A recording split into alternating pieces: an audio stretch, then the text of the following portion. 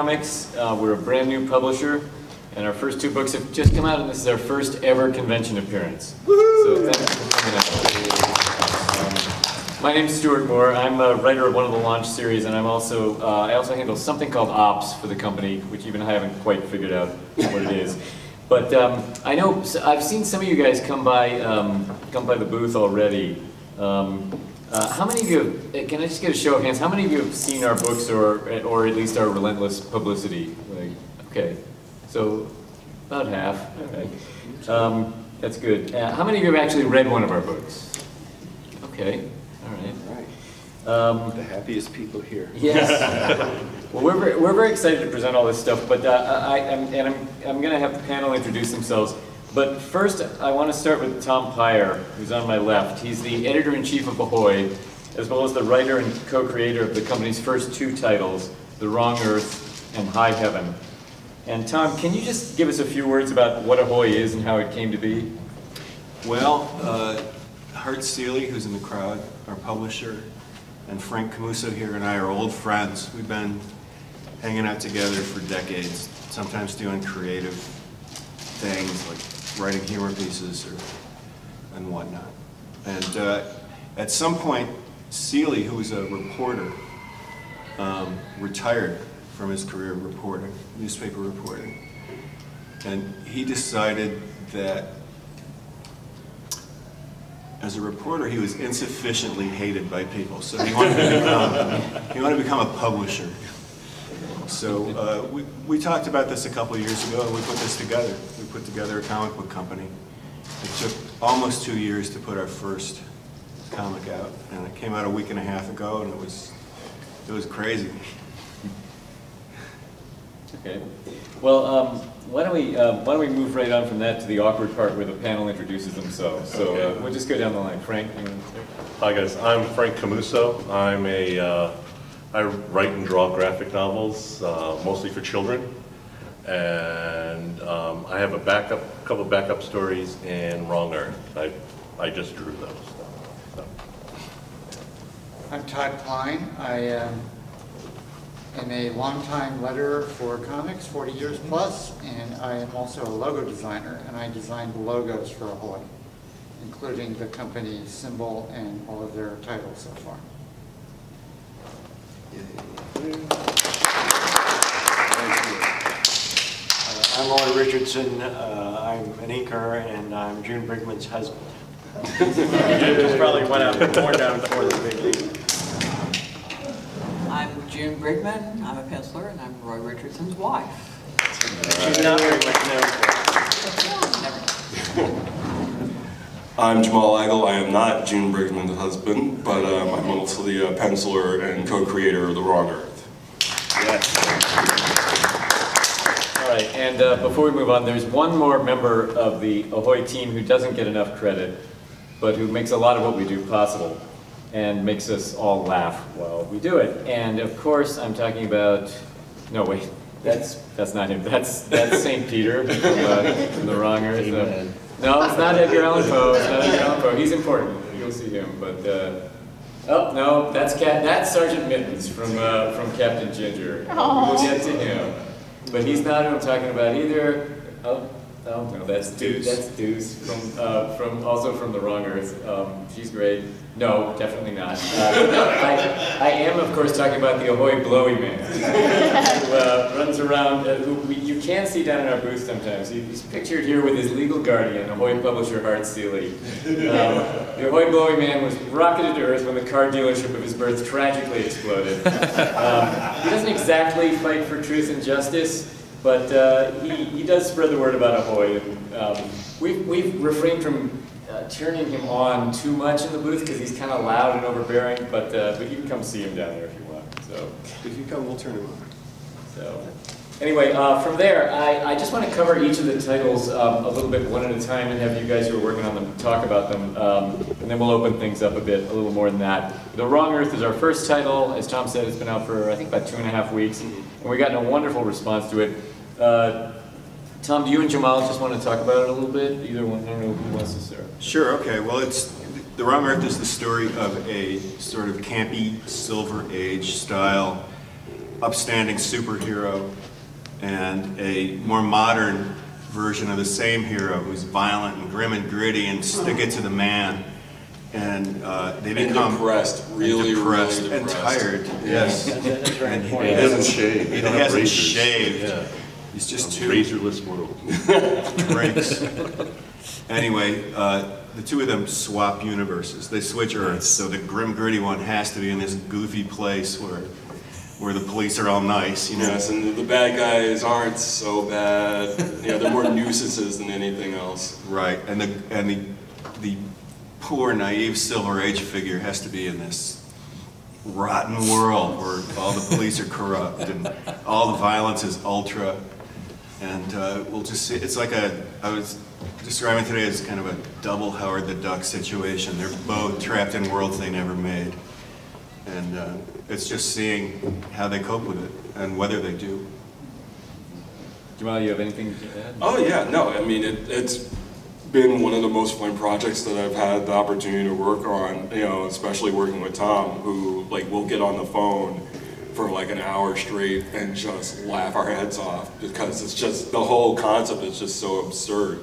and uh, you know, the, the the whole thing for me has been, you know, having that dichotomy to play with with all of the characters because you you see how different, you know, even our main villain is a character called Number One, and on Earth Alpha, Number One is sort of I I liken Number One as sort of a cross between Paul Lynde and Charles Nelson Reilly with with a little Frank Gorshin thrown in, whereas you know the Earth Omega version of Number One is much more nihilistic. It is sort of like Tim Roth, uh, you know, sort of you know Sid and Nancy, very punk, very you know dark and gritty, and their henchmen reflect that as well. You know, the on Earth Alpha, they you know I was very inspired by the Prisoner and their outfits, and you know, and on Earth Omega, it's all fetish gear and leather vests and, and bonded masks.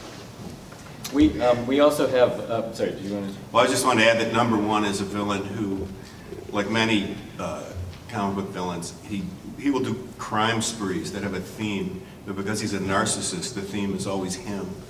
That's a really good idea. Um, I have a series of, I I wanted to ask Jamal to comment on this. I, we have a series of process shots here. This is, um, this is actually the cover to Wrong Earth number six, and this is the first time it's been shown anywhere. And I have the, uh, series of shots showing it being made, so that's your sketch. Yeah, so this is, I, so Tom and I were trying to figure out what we wanted to do with number six cover, and we wanted to go back to the mirror motif. And originally, Tom had suggested, because, you know, if you've read number one, or spoilers for those who haven't read number one, the, the transport between Earths happens in a magic mirror.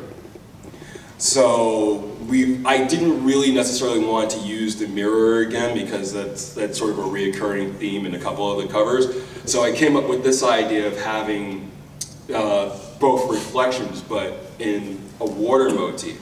So I did two versions. The other version is much more placid, and we, we picked this one because it's much more action oriented. So this was a me just basically going, all right, I did this idea. How the hell am I going to pull this off? Mm-hmm. So, shall Then we go to this. This So yeah, so now we go to the pencil stage. What I ended up doing was I, there's a program called Manga Studio, or a Clip, uh, Clip Paint Studio, and I drew the figures digitally, um, imported them into Photoshop, and then I did on the uh, uh, Dragonfly, I used a uh, ripple filter to warp the figure in the sketch, then redrew everything on paper with uh, just pencil paper.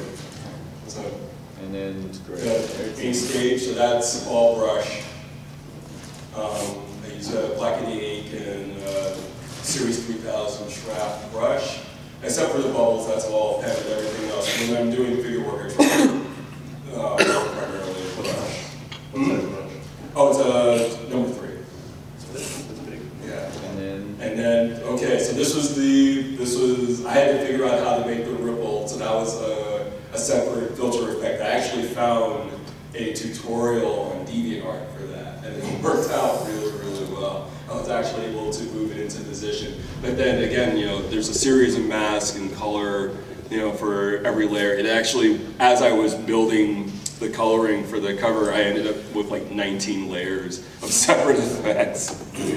but I'm really happy with the way that the cover came out. Yeah, it's actually a little bit washed out on the screen. Like on my screen, it's a, it's a lot more vivid. Yeah, it's a lot more vivid. yeah. It's great. Uh, It is great.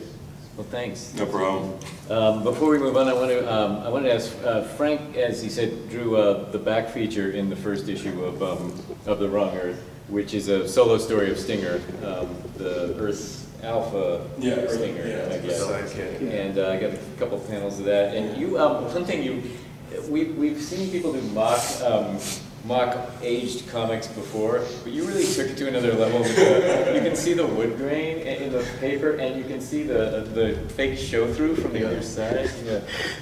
But uh, do you want to say anything about the story, like how it worked? How it, Uh, you know, yeah, it's a, um, it, was, I, I've always loved superheroes, but I really can't draw like Jamal, you know? But I can't draw like but I- you, so But I can even. come close, and basically, the closest I can get is like, you know, like the bastard child of Will Eisner and Jack Cole, you know? And that's really kind of where, if I had to draw that stuff, that's where I would live, and that's kind of, and I kind of support that, yeah, that's kind of, so I was like, well, I can do it this way, you know, and that's, and, and because the style kind of feels a little dated, I thought, well, it should, uh, because it's a golden age book. Yeah. But you know what? You know what I love about that sequence is that Stinger takes off his mask and he still has the little Orphan Annie eyes going.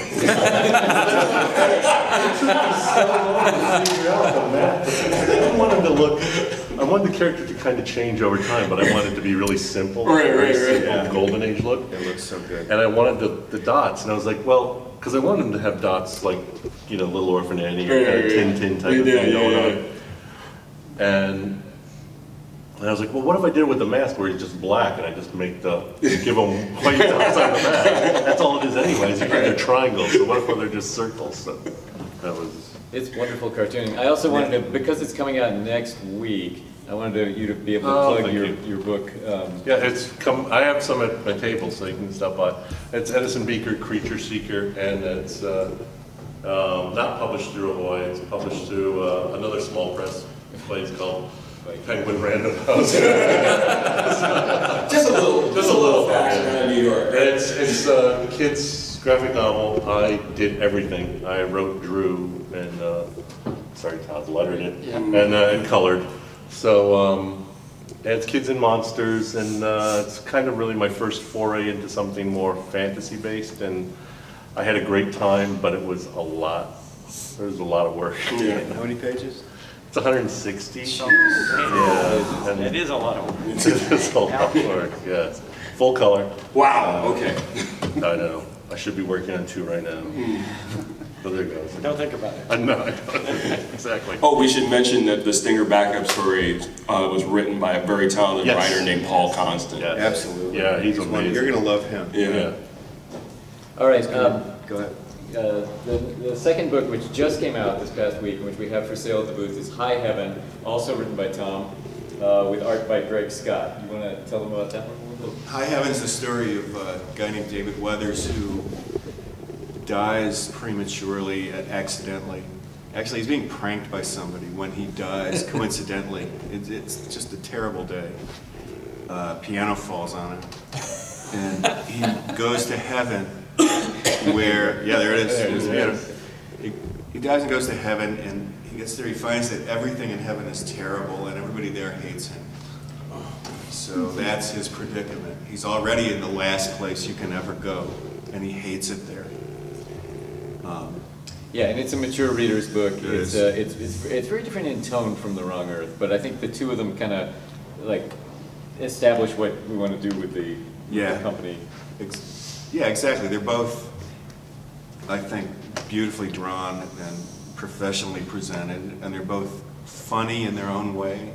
Not very jokey, but funny, I No, think. dark, uh, dark comedy. And, uh, but the resemblance ends there. We wanted to show that we could do two very different books right out of the gate. And uh, I should mention, we, uh, we are debuting at the convention the, what we call the, um, the heaven exclusive variant cover, uh, which is for sale for four dollars down at the booth. Um, And that, the painted cover is by Richard Williams, who uh, uh, painted Mad covers for many years, and he's terrific, as you can see.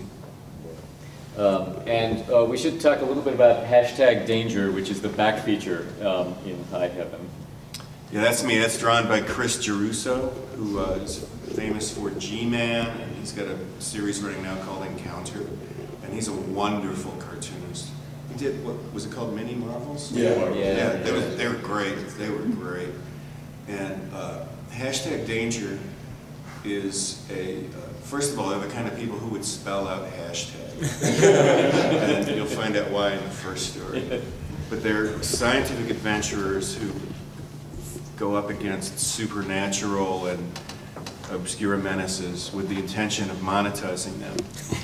and they, uh, very different people who are kind of thrown together, and they really hate each other.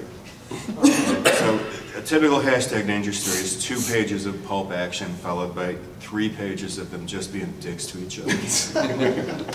And uh, I should point out that there's a, there's a second hashtag danger serial drawn by Randy Elliott that will appear in the back of our next title, Captain Ginger, which is created by me and June Brigman and uh, with art by June and Roy. And uh, this is a book that's very close to my heart. Uh, we've been developing it for quite a while, um, before Ahoy even existed. And um, I've been talking about this book a lot lately. June, do you want to do you want to take a stab at explaining it or talking about it at all?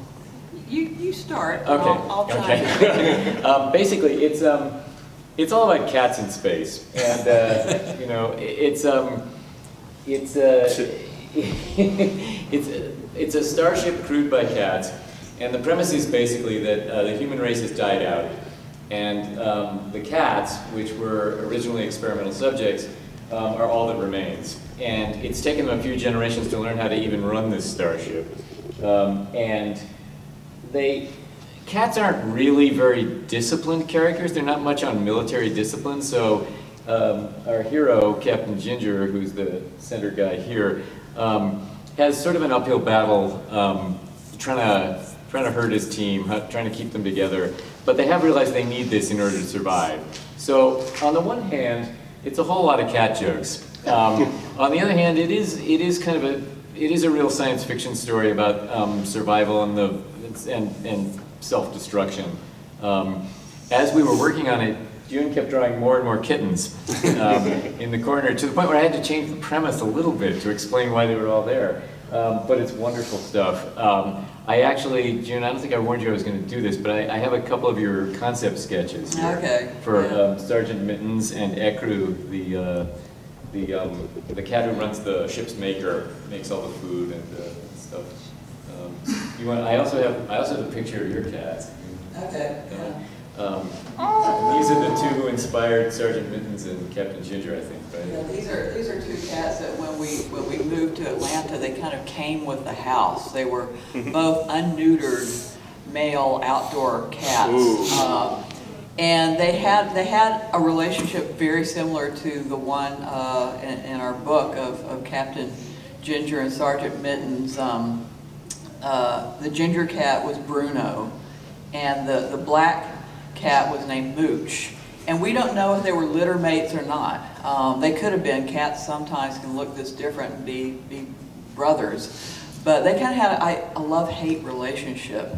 Um, they hung out together and, and, you know, Mooch would follow um, Bruno everywhere and Bruno would kill things and Mooch would kind of take credit for it. And, and sometimes they seemed like best buddies and then sometimes they would just get in these knockout, knock, you know, these fights with the dust and fur and blood flying. wow. And um, that's, that's very similar to the relationship of, of the characters in the book.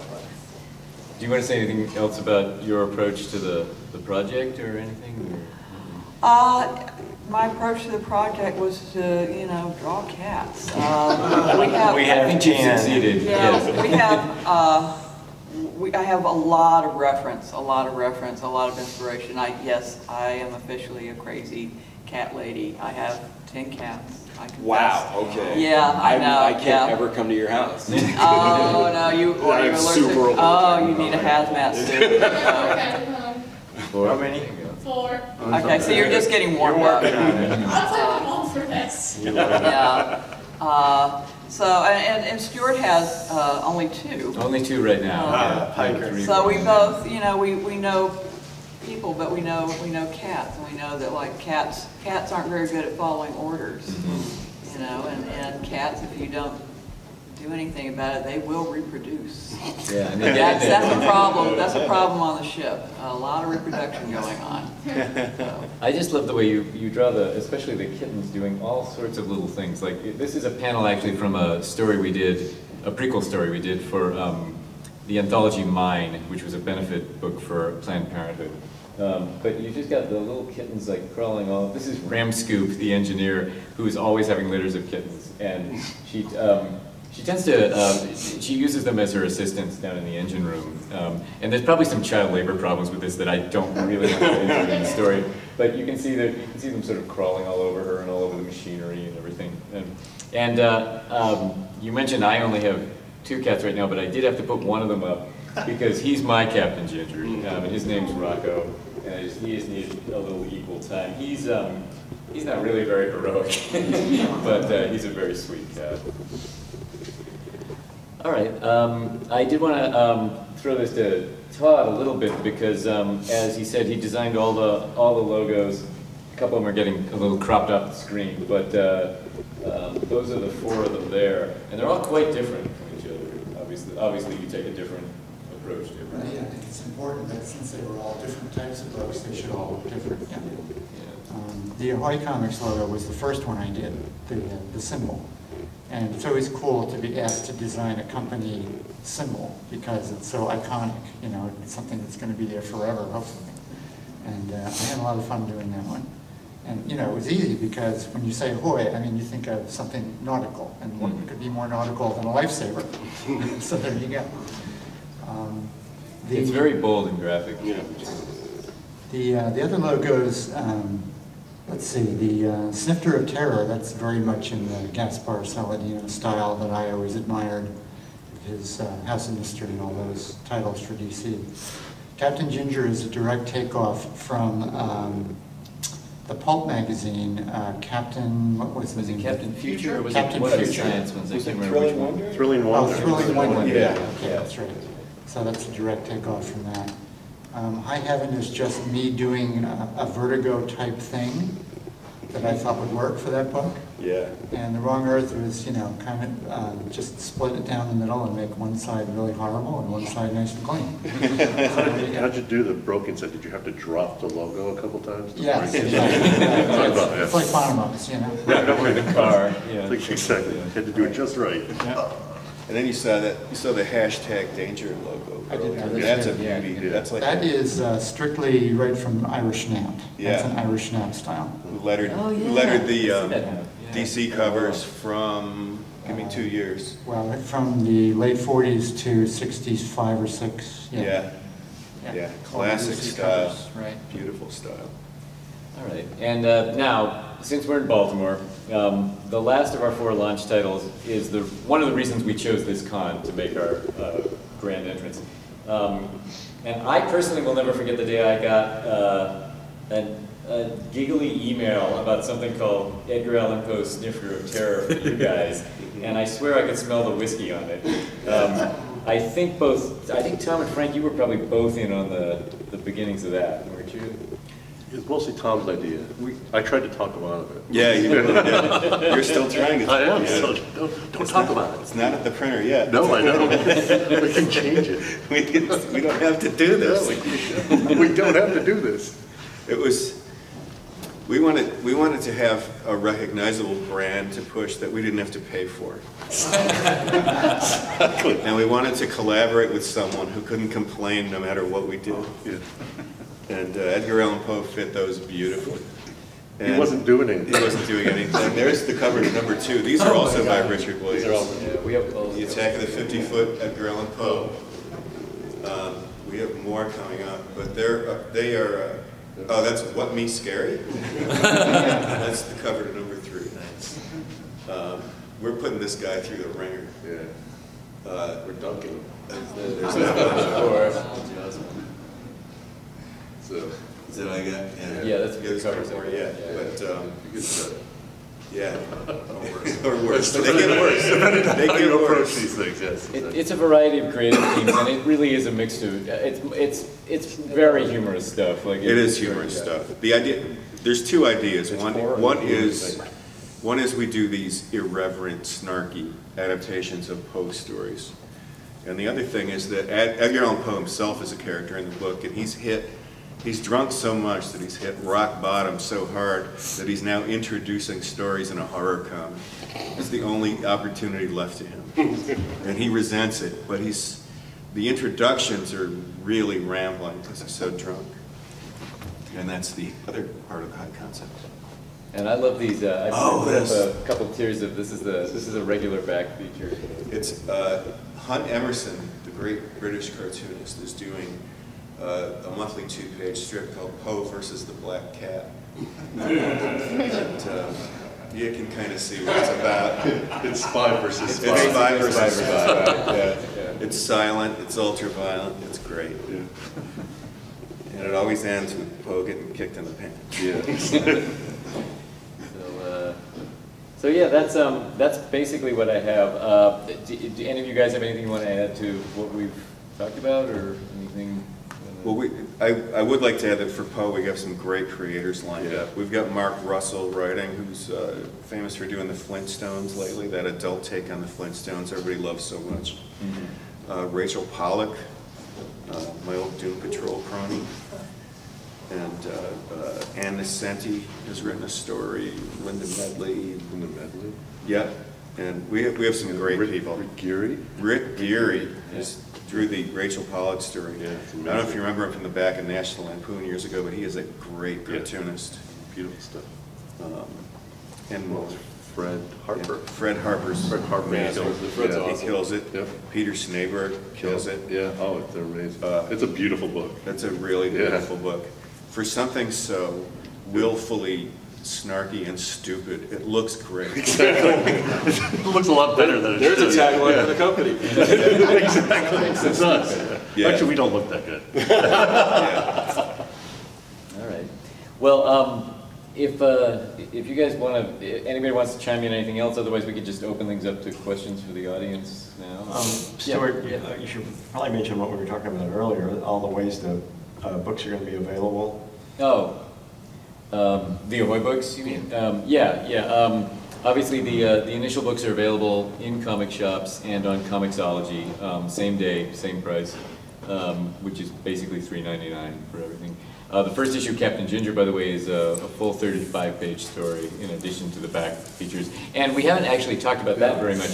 The Ahoy books are packed with. Um, extra text stories and in some cases back feature comics. Um, we're really trying to make this as, um, as full a package as we can. We want this to be something you can actually, i- i- you, you won't be done with it in five minutes. It's a, it's a, it's a substantive read and that will continue. That's not just the first issues. It's a meal, not a snack. It's a meal, not a snack. But uh, yeah, we're, we're already working on the, uh, tr- we're actually, I was just talking with, uh, in the spring, probably. I don't have exact dates. Um, Probably Wrong Earth first, because that'll be, um, that'll be, that's the first one out.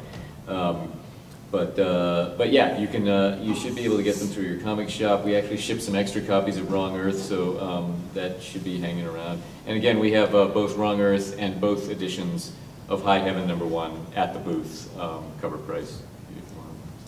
And these uh, short stories Stuart mentioned that are in the back of the book, we look, originally we looked, we were looking through old comics to see if there anything, if there was anything that people used to do and don't do anymore that would be good today.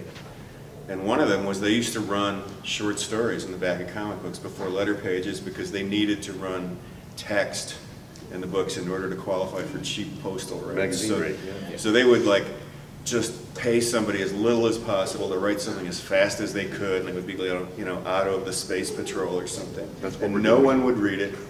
And we were looking at it and we thought, what if these were good? And so we're trying to get good stories, and we, we have a lot of cool people from outside of comics, but the first three stories are by Grant Morrison. And they're great, and they're hilarious. They're really funny. So- Really fun. Tom just contacted him and he said, here's three. Like, Yeah. it's amazing. Yeah, He's been waiting all his life, right? he has, they were ready. I'm pretty sure that's how Mickey Spillane got started. It is, Yeah, that's probably. right, yeah. Yeah. That is, and Stan Lee too. When I started at DC, I was still doing the headers for those. They still had them Oh, they still had them? Yeah. Wow. No kidding. Yeah.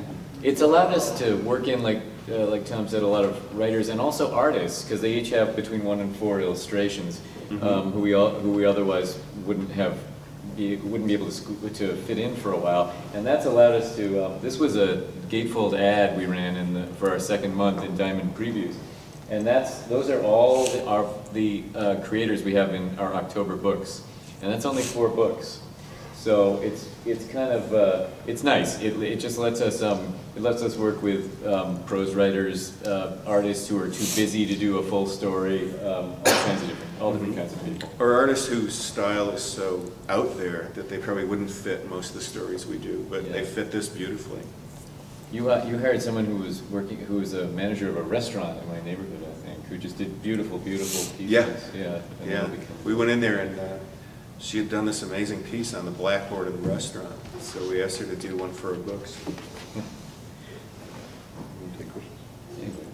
Oh, yeah, Shannon Wheeler up there. Yeah, Yeah. yep, What's, he did a com, he does a strip in the back of, uh, Wrong Earth number one.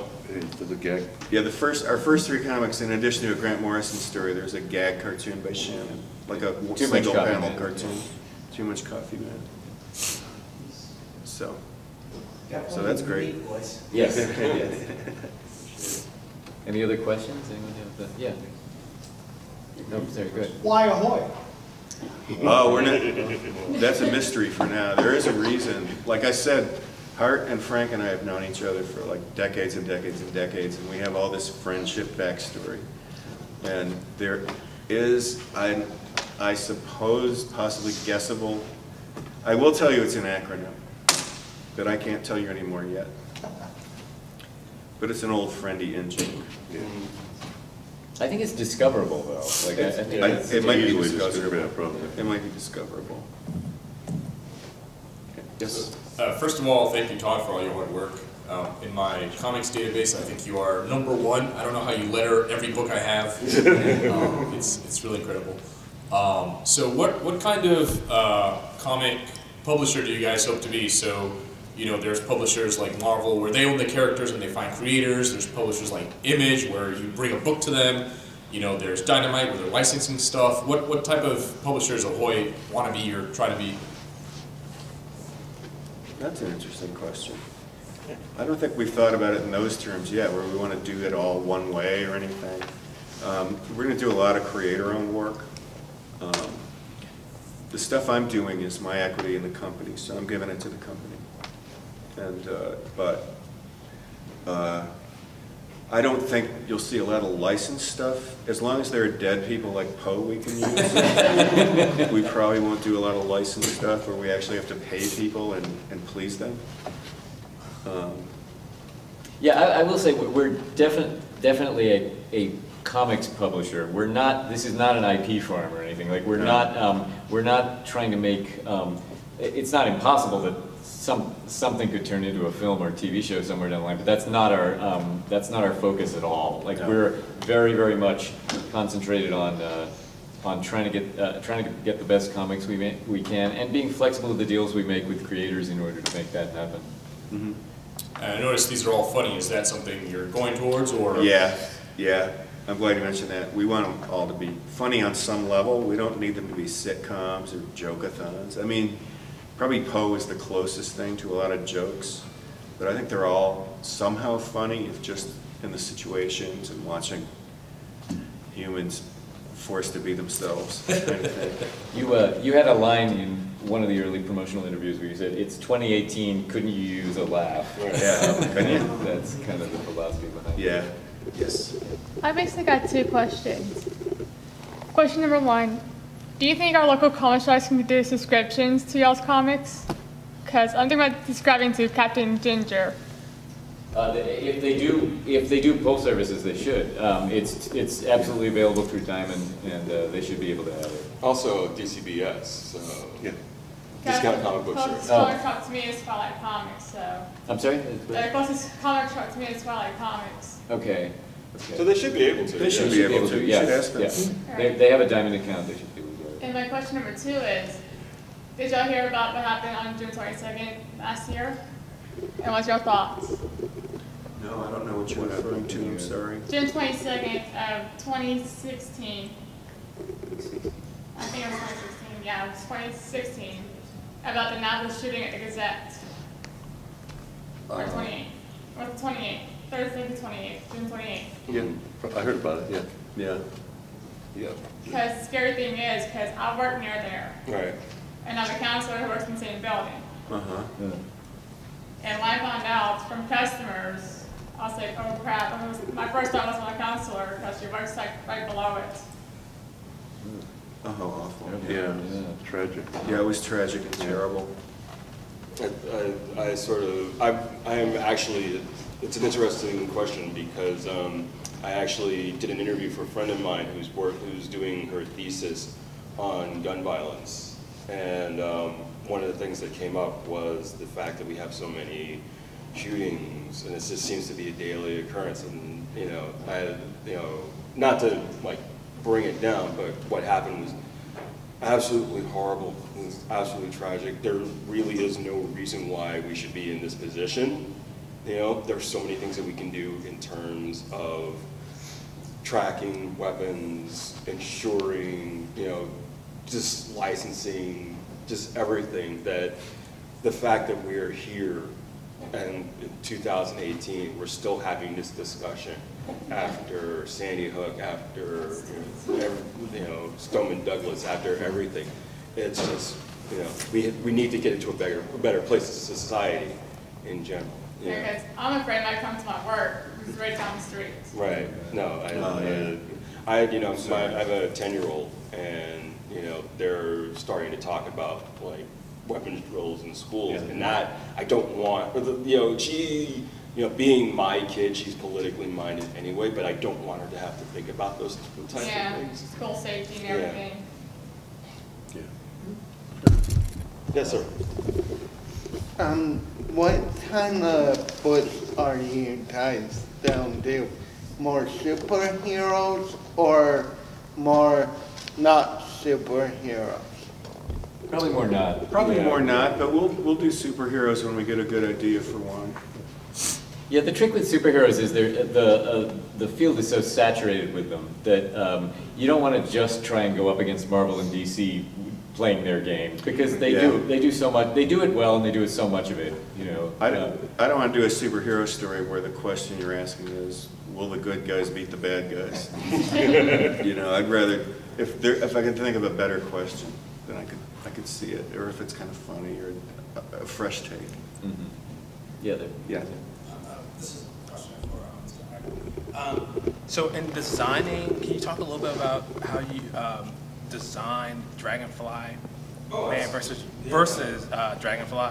Absolutely. Actually, it's, it's funny. We were when uh, we were developing the the project. I was actually in Japan on vacation, and uh, talking to Tom via email like the entire time that I was Right. there. Like, because I was re- like, as soon as we like we we clicked automatically and just started tossing ideas back. And while I was in Japan, I, my family and I went to the Samurai Museum in Tokyo, and one of the things, one of the exhibits was samurai armor, and a constant uh, theme in samurai armor, armor during the Edo period was a dragonfly.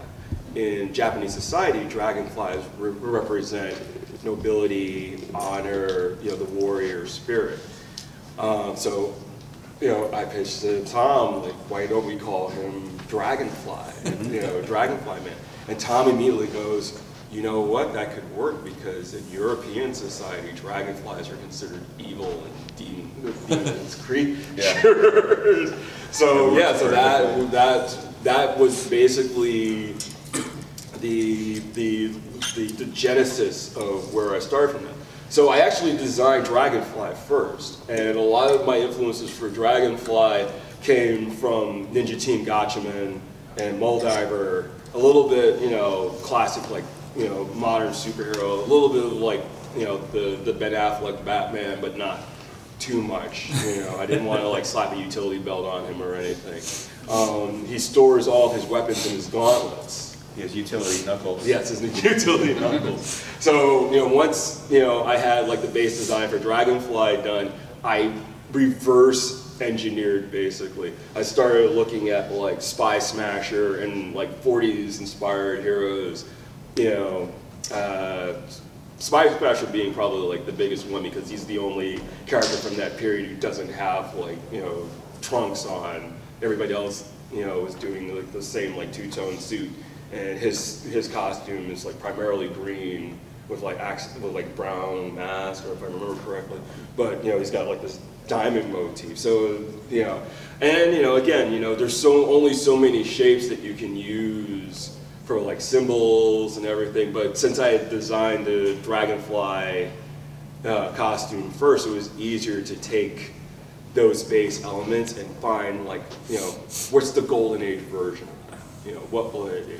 So, you know, again, the same thing with the goggles, where Dragonfly's goggles are very, you know, opaque and they cover his eyes. Dragonfly Man's goggles have a little light inside the lenses. So to, to and I actually was inspired by Lady a little bit, where, you know, it's just distracting enough so you can't you know, you don't really look directly into his face. You know, there's like little lights and you know in the lens in like the rim of the lenses of their goggles, both on him and Stinger. And it was kind of the same thing. Like once I had the designs for both versions of those characters, they made it easier for me to design Stinger as well, which is you know.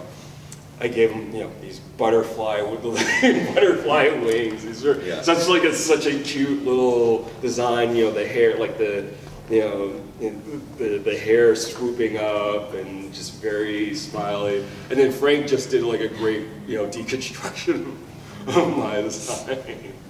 You know, and then like you know, you've got Omega Stinger, which is you know very much in the mold of a Omega Dragonfly, much more you know dark and ominous, and you know.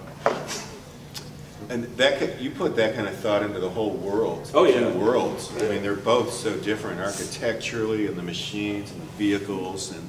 Yeah, with, with, with Earth Alpha especially, I mean, Earth Omega is much more like our real world, so that was the, the easier part. It was just sort of giving it that uh, much more grittier and darker texture. With Earth Alpha, a lot of the technology is basically concept technology. It's stuff that was never produced.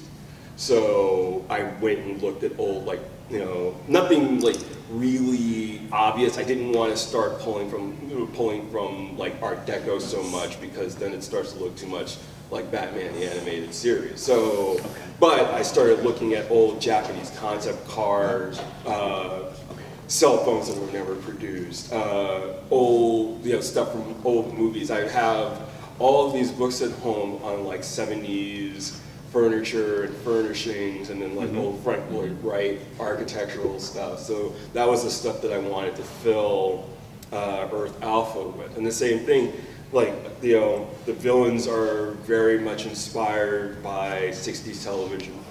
You know, uh, the vehicles are all concept vehicles. Uh, the design for Deuce in particular is very much inspired by like Goldie Hawn and Judy Carne from like Laugh-In. You know, That's so you know that that you know, but you know she's wearing you know a full patent leather outfit. You know, which I didn't know was a thing back in the '60s, but there was like this whole like patent leather, you know, you know thing that they were doing back then. So that's like that the the, the whole focus of her outfit is sort of like taking those classic elements and really you know, playing with them. And I, I love Deuce. Like Deuce really evolves over the course of the series. She's the best. Anybody else? Yeah, okay. Thanks, first. I love that EC reference in the, uh, in the Stinger story. Yeah. That was classic. Uh, But, okay, you've got three titles going now, one coming on next week. Uh, It it seems like you just booming on the uh, number of titles going. What do you think your carrying capacity is going to be? Four. Four. Really, that's about as much as we can do right now. Um, yeah, and they're, they're It's a lot of all, work. they're all miniseries to start with. Like, they're all, they're all designed in seasons of four to six issues, depending on the book. Yeah, And they will they be. would come back, yeah. will- Yeah, the, the idea is they will come back, but there will be other ones cycled in. So we're already planning our second wave of stories, of series to start in March and April. And uh, a lot of that stuff is well underway. Um, One that I'm writing and and have co-created, which is, uh, which I can't tell you about yet, is, uh, is the first issue is completely done, the second issue is well underway. Um, The other series, which is also really great, is almost finished. Um, It's not colored, but almost everything else is is done. So we're, we've been planning way ahead, and we're gonna, we, we, we have things slotted in that way. And by the time some of those series are winding up, we'll probably come back with High Heaven or, um, or Captain Ginger or one of those. So Mhm. we're definitely continuing Captain Ginger. Yeah, um, Yeah. issue one of The Wrong Earth just, just shipped. I'm penciling issue six, so. So we're in pretty- good shape. yeah. What do you think the lag will be between the end of an arc and the trade paper? We're, we're working Working out, we're working out that, as the, the lag before the trade paperback. We're trying to get that stuff out as soon as possible. There are some distribution questions we need to figure out. And I've actually been working on that this weekend. I don't have a hard answer for that. Um, it will depend a little bit. Wrong Earth is scheduled to end in, uh, uh, is it February or January? February, I think. Um, and we're trying to get the trade out a, a few months after that. Um, Yeah. But I don't have exact timing yet.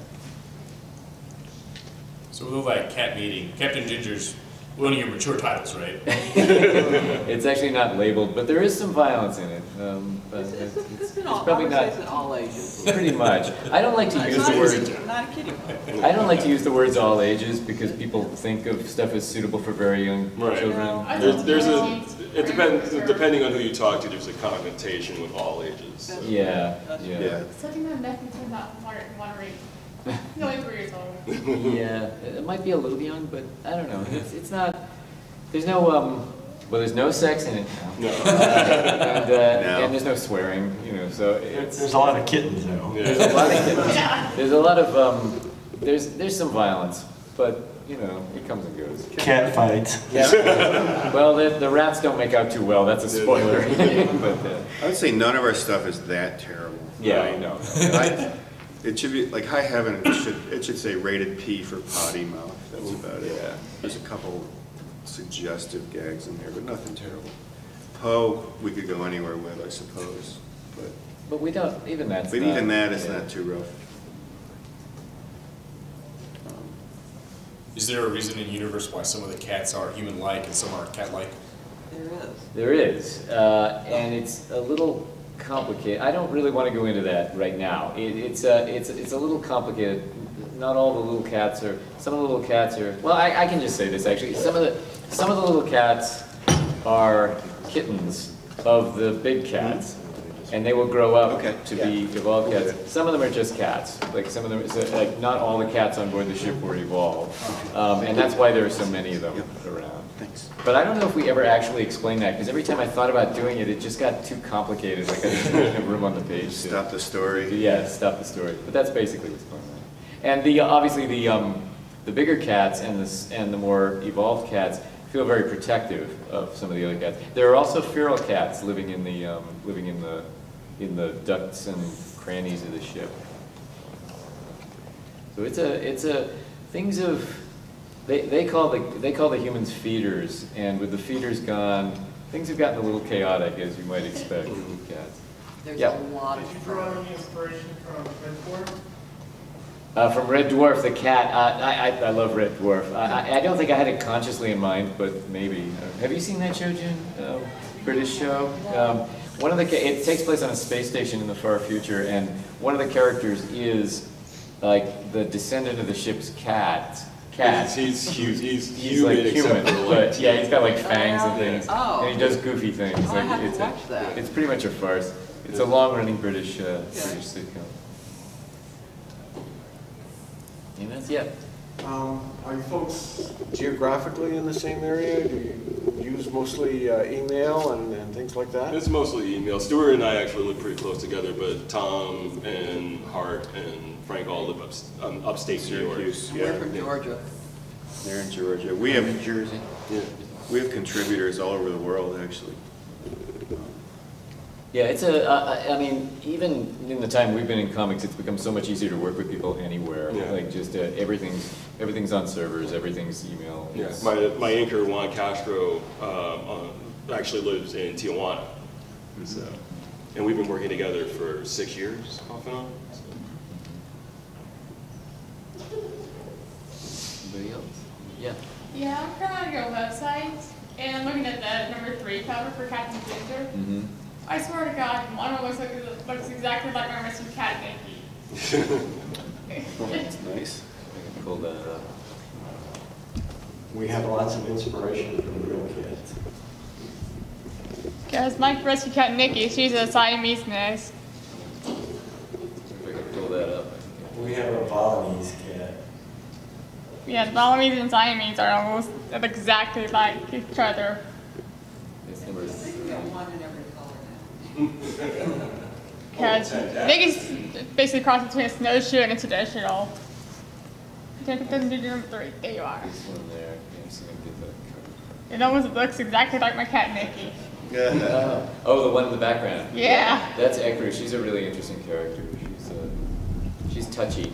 She's, uh, she's inspired by a cat I almost adopted once, who was just very, like, would flinch away when you tried to, do tried to, tried touch her.